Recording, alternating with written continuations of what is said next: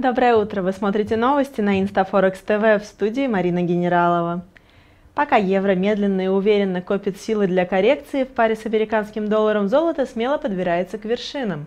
За торговую сессию в понедельник драгоценный металл потяжелел на 0,25%, приблизив котировку к отметке в 1247 долларов и 50 центов за тройскую унцию.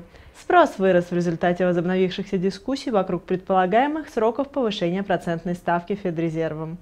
Озабоченность членов Комитета по операциям на открытых рынках ФРС за состояние мировой экономики вернула на рынок мнение о возможной отсрочке начала ужесточения денежно-кредитной политики.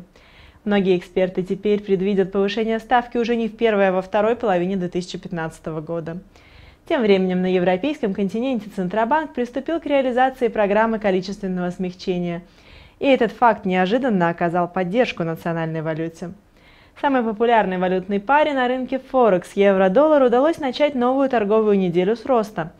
За европейскую сессию евро отыграл около 50 пунктов, поднявшись выше отметки в 1.2785.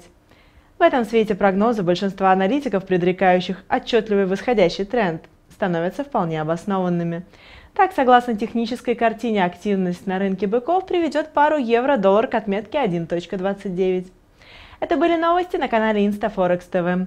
Всего вам доброго и верных торговых решений.